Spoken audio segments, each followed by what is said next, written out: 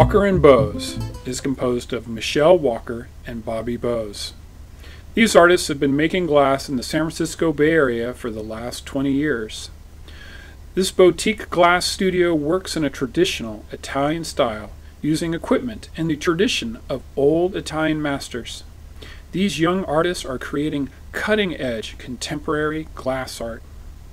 Walker and Bose works are in prominent collections, both private and public, around the world, including the collections of the Smithsonian and the Renwick Gallery in Washington, D.C.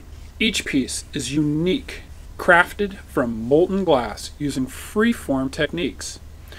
The artists work in teams of up to six people when endeavoring to create large, one of a kind works of art. This team approach inevitably leads to a more creative atmosphere in the studio. The team members have input during the creative process, but ultimately the final works represent the artistic vision of Michelle Walker and Bobby Bose. Walker and Bose exhibit work exclusively through one of a kind art installations, the most prominent of which is located on the Stanford University campus at the Stanford Shopping Center. These installations are viewable three times a year during the months of May, September through October, and in the month of December.